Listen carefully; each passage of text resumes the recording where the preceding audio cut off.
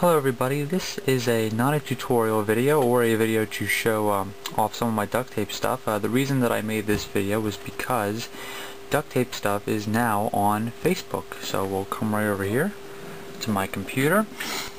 Here is the Facebook home of duct tape stuff and it's a fan page and you can um, you can go on Facebook if you have a Facebook account become a fan of it.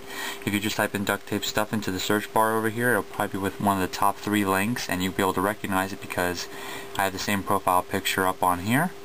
And if you want to, you can become a fan. And I'm going to be putting up some uh, a few of the videos of my YouTube account on here and as well as a whole bunch of photos. So duct tape stuff is now on Facebook. So go online and check it out. And I'll see you guys later.